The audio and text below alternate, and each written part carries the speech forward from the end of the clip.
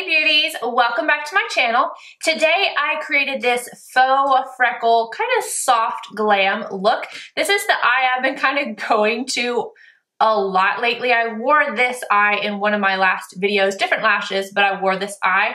And I kind of just want to create something fun and I wore these faux freckles to work like a week or so ago and everyone was like your skin's so pretty. I'm like girl this is so fake but hey it works. I used just two pencils to do my freckles. Now if you wanted to use something like anastasia's dip brow and kind of mix it with either fix plus or duraline from inglot you could totally do that. Or even a cool toned eyeliner that is just not too dark. You totally use whatever you want to. I just like to use the cooler ashier tones but the pencils work well for me, so that's just what I did. Anywho, if you like to see how I created this look, just keep watching. So the very first thing is I'm starting out with my foundation and concealer done. I didn't use as light, like it's still light, but I didn't use as light of a concealer underneath my eyes. And the reason being is because people that have natural freckles, they tend to be actually a little bit darker where their freckles are. Not like darker, darker, but just a little bit darker there because you have so many, the little dot pigmentations. So I try not to go as light with my concealer. And then I'm gonna use just these two products here. I'm using Taupe Eye Pencil from MAC and then Stone Lip Pencil. Taupe I don't think can get can get any more, but anything that is cool, ashy tone is what you want to use. Don't use anything too brown or just stick with something ashy is a little easier. and I'm just making sure that these are sharpened and I didn't put any powder on my face to set anything because if these were natural freckles, then you would be putting powder and all your makeup on top of your freckles. So I want it to look a little bit more natural. So I'm gonna start off with a taupe pencil and I'm going to first just start dotting I'm kind of placing the pencil down and twisting. You want to make sure that it is definitely sharpened so that you're getting a clean dot every time. And another thing is you do not want to sit here and try to be super symmetrical.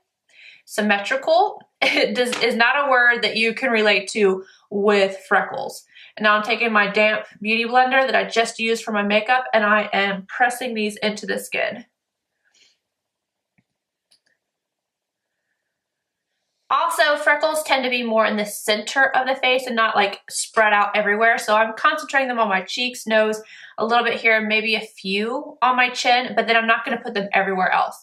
But I'm just going to go in layers. And I start to go a little faster after I've set down the first few. Again, I'm not sitting here trying to be super symmetrical with them. So if there's a bigger one, that's okay because there's bigger, big, bigger, there's a bigger freckles in the natural world. this is what you say when you don't know what you're talking about. Yeah, just ignore me.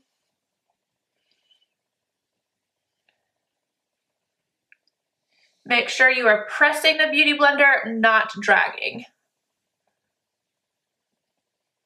And I'm just gonna keep on repeating this process until I move on to the other color.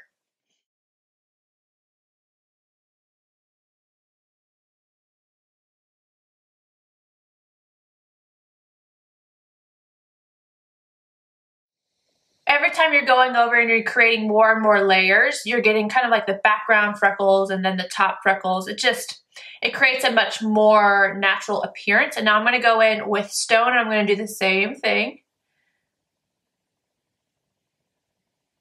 Okay, now what I'm going to do is go ahead and finish off my face with the powder.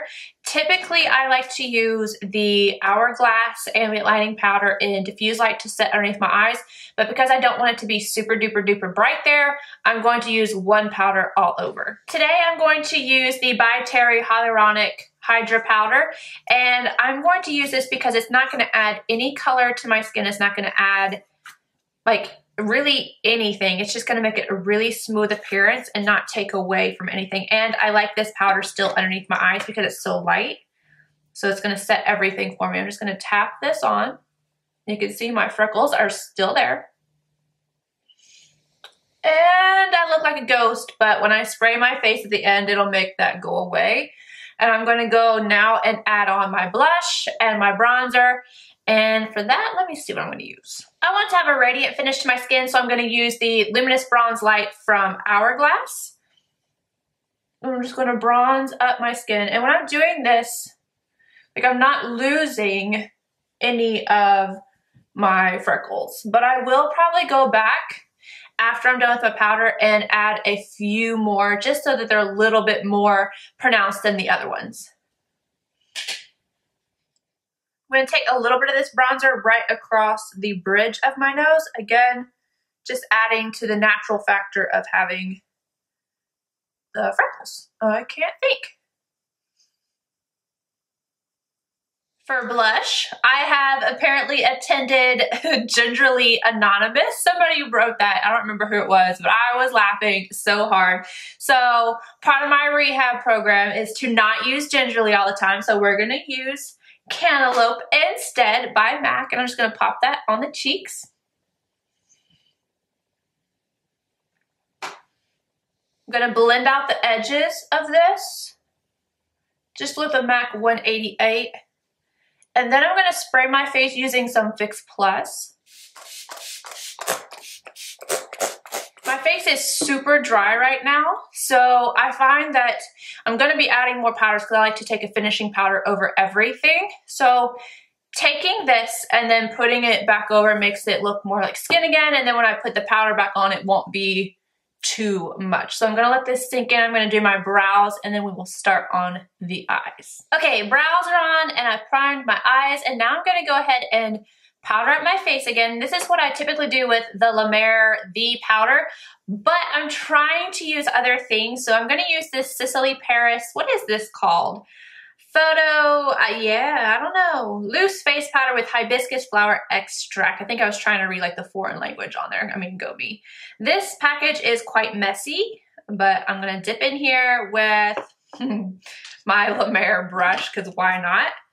And I'm just gonna buff everything out. So I'm gonna tap, tap, tap, tap. And, whew, this has a scent to it, that's for sure. I just love how doing this gives me a little bit more radiance to my skin and it blurs out any lines you might have. Now I thought that my freckles might go away a little bit and I was to add a few on top of the powder, but I don't think I need to. If you do feel like you need to, just go right on ahead and do so, but I don't feel like I need to, so I'm gonna move on to the eyes. Okay, this eye look is literally the simplest thing in the world. I'm going to take Anastasia Fresh, and I'm popping that all over, and that's gonna kind of set that soft ochre paint pot and make it a little bit brighter. And I'm using a MAC 227 to do so.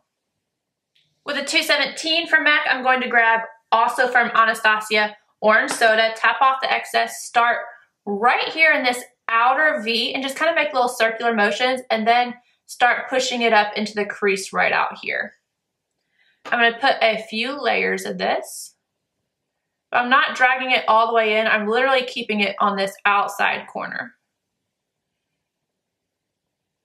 Still sticking with orange soda, but I grabbed a NARS pencil brush and I'm going to pop this underneath my lower lash line. MAC 221 and I'm going to grab Buon Fresco. I think that's how you say it. And I'm kind of place this right in this outer V. Kind of tap, tap, tap and just buffing it in this section right here, but I'm not going ham with it. And then I'm going to bring it right up into the crease, but do not surpass this area right here.